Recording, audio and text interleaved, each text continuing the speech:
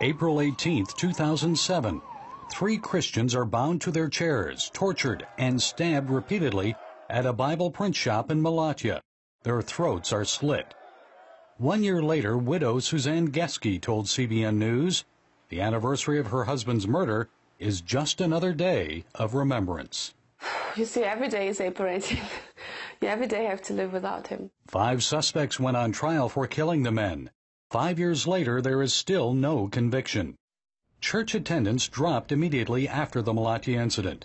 It's growing once again, but so are the number of incidents against Christians. The Protestant churches of Turkey documented 12 attacks against Christians in 2011.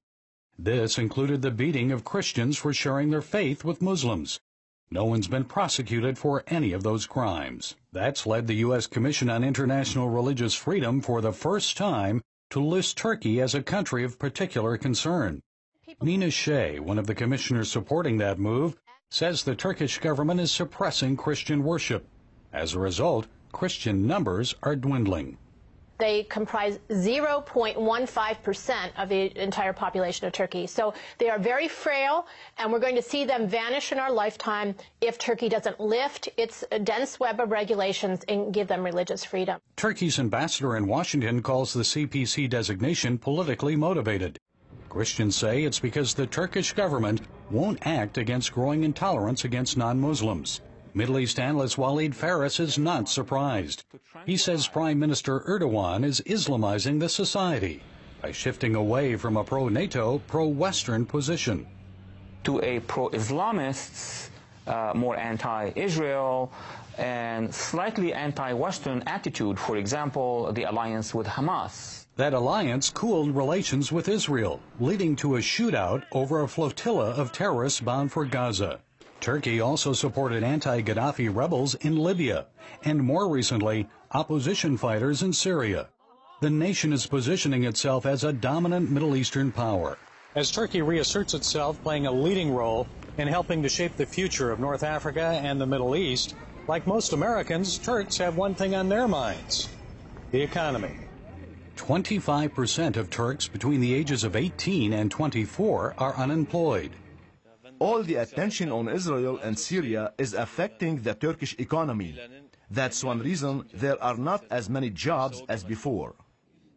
Turkey must first solve its internal problems, then it can focus on Israel and Syria. While most Turks enjoy a more open, secular society, the shift toward Islamic fundamentalism may not come as a surprise. Their nation has a long history of embracing Western culture and then eventually rejecting it. For example, Istanbul's Hagia Sophia. For a thousand years it stood as the largest cathedral in the world. After Ottoman Muslims conquered the city in 1453, they converted the basilica into a mosque, plastering over 12th century Byzantine mosaics like this one of Jesus. The Ottoman Turks established a caliphate to rule over the Islamic world. In the 1920s, Mustafa Ataturk established a secular state. Nearly 100 years later, it seems Turkey again is distancing itself from the West.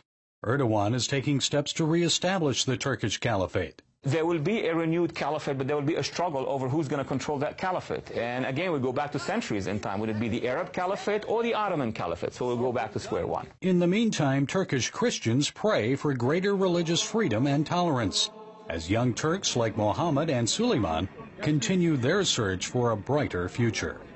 We need jobs and peace. We need a solution to our problems. Gary Lane, CBN News, Istanbul.